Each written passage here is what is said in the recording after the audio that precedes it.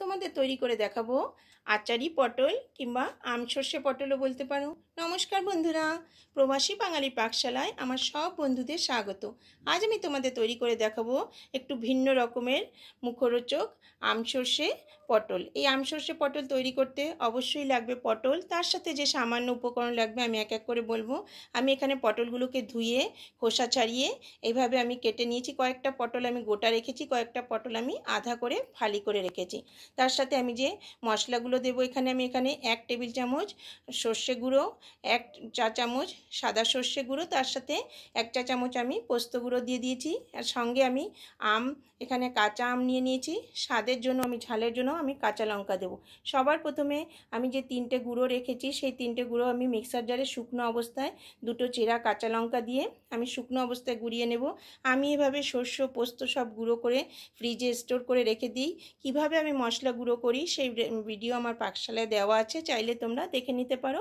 আমি এন্ড স্ক্রিনে দিয়ে দেবো। তার সাথে আমি দিয়ে দিলাম সামান্য, একবার গুঁড়িয়ে নিয়ে আমি সামান্য নুন আর সামান্য হলুদ দিয়ে আমি এখানে তিন থেকে চার টেবিল চামচের মতো জল দিয়ে আবার এই পেস্টটাকে আরেকবার ঘুরিয়ে নেব। এবার আমি কড়াতে দিয়ে দিলাম সর্ষের তেল। এখানে আমি দু টেবিল চামচের মতো সর্ষের তেল দেবো। এইটুকু তেলেই সম্পূর্ণ রান্নাটা হয়ে যাবে। রান্নার ছবি তোমাদের দেখে মনে হচ্ছে প্রচুর তেল দেওয়া হয়েছে, কিন্তু খুব কম তেলে রান্না হয় আর রান্নাটা নামিয়ে রাখলে ধীরে ধীরে তেলটা উপরে আসতে থাকে। আমি এক চা চামচের চার ভাগের একবার কালো জিরে ফোড়ন দিয়ে দিলাম। অবশ্যই রান্নাটা আমি সর্ষের তেল দিয়ে করব। এবার আমি পটলগুলোকে দিয়ে দিয়েছি। পটলে আমি এখন নুন, হলুদ কিছুই দেব না। সুন্দর করে পটলটাকে ভালো করে আগে ভেজে নেব। মশলাটা আমি দেখো একটা বাটিতে নিয়ে নিয়েছি। সব মিক্সার জার থেকে বের করে নিয়ে নিয়েছি। পটলগুলো বেশ লাল লাল করে ভাজা হবে। তারপর আমি মশলা এক এক করে দেব। আমাদের এখানে এই রকম পটল খুব কম পাওয়া যায়।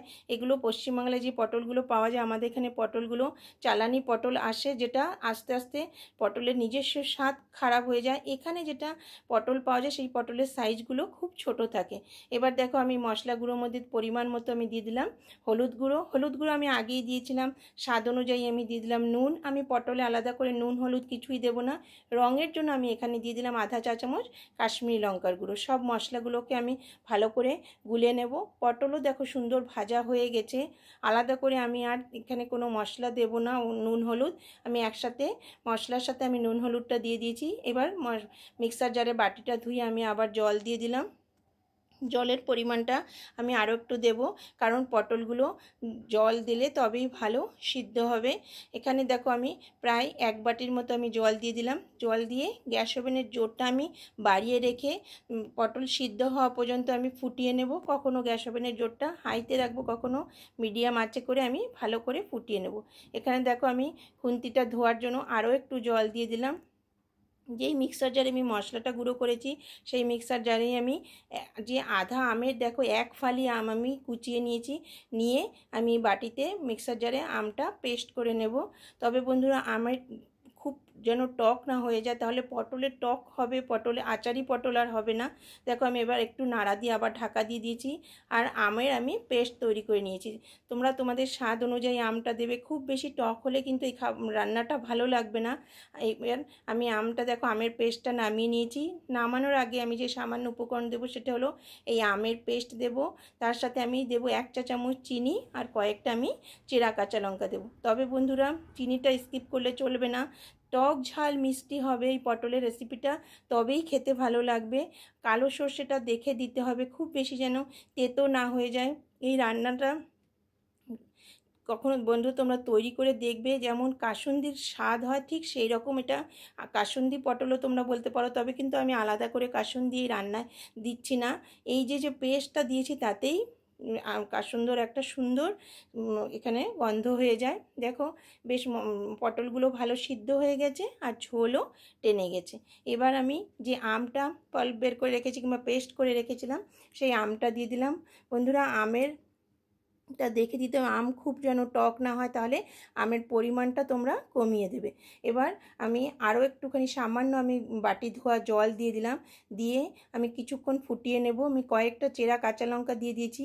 তবে খুব বেশি ফুটাবো না। পটল ভালো সিদ্ধ হয়ে গেছে। আমি আর একবার দুটো তিনটা কাঁচা লঙ্কা দিয়ে দেবো। ওই কাঁচা লঙ্কাতে ঝাল হবে না কিন্তু রান্নার। আলাদা একটা স্বাদ হয়। এবার আমি এক চা চামচ দিয়ে দিলাম চিনি।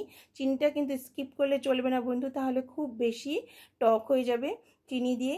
আমি খুব কম সময়ের জন্য ঢাকা দিয়ে দিলাম। যখন ঝোলটা বেশ গামাখা গামাখা হয়ে যাবে, তখন আমি নামিয়ে নেব। তৈরি হয়ে গেল আচারি পটল। একঘেয়ে পটলের রসা খেয়ে আমরা ঠিক মুখের স্বাদটা একরকম ভালো লাগে না। এখানে দেখো আমি এক চা চামচের মতো কাঁচা সর্ষের তেল দিয়ে দিলাম। এবার আমি ঢাকা দিয়ে গ্যাস ওভেনটা বন্ধ করে দেবো। তৈরি হয়ে গেল সুস্বাদু আম, সর্ষে, পটল আমি যেই পদ্ধতিতে তৈরি করলাম, তোমরা তৈরি করে দেখবে। গরম ভাত দিয়ে খেতে জাস্ট জমে যায়। যারা একটু টক ঝাল মিষ্টি খেতে চায়, তাদের জন্য এই রেসিপিটা একদম স্বাদে ভরপুর হবে। আমি যেভাবে তৈরি করলাম, তোমরা তৈরি করে দেখবে। যখন গরম থাকে বন্ধুরা, এখন রঙটা এরকম একটু হালকা দেখাচ্ছে। পাত্রে নামিয়ে রাখলে ধীরে ধীরে ধীরে ধীরে পটলের থেকে তেল ছাড়তে থাকে আর রঙটা এত সুন্দর একটা কালার আসে। আমার অনেক বন্ধুরাই এভাবে তৈরি করে থাকে, তবে যারা তৈরি করেনি, তোমরা তৈরি করে দেখবে। এবং খুব কম সময় তৈরি হয়ে যায়। যেমন আমরা পটলের রসাটা তৈরি করতে অনেকটা সময় লাগে। যদি সর্ষের গুঁড়ো থাকে আগে থেকে বানিয়ে রাখা, খুব অল্প সময় তৈরি হয়ে যায়। আমি যে পদ্ধতিতে তৈরি করলাম, তোমরা তৈরি করে দেখবে। ভালো লাগলে লাইক করতে ভুলবে না, প্রচুর প্রচুর শেয়ার করবে। তোমাদের একটা লাইক, শেয়ার, কমেন্টস আমাকে সামনের পথে চলতে অনেক বেশি উৎসাহিত করে। আমার যারা পুরনো বন্ধু, তাদের আমি অনেক অনেক ধন্যবাদ জানিয়ে, আর যারা নতুন বন্ধু, তাদের আমার পাঠশালায় স্বাগত জানিয়ে আমার পরিবারের সদস্য হওয়ার জন্য আবদার রইল। রেসিপি ভালো না লাগলে তোমরা কমেন্টস করে আমাকে জানাতে পারো। সামনের দিনে আর তোমাদের কীরকম রেসিপি চাই জানালে আমি সেই রেসিপি তোমাদের সামনে তুলে ধরার চেষ্টা করব। এই রকম পটলের আরও অনেক রেসিপি আমার পাকশালা আছে, তোমরা চাইলে দেখে নিতে পারো। আজকের পর্ব কেমন লাগল? কমেন্টস করে জানাতে ভুলবে না। নমস্কার।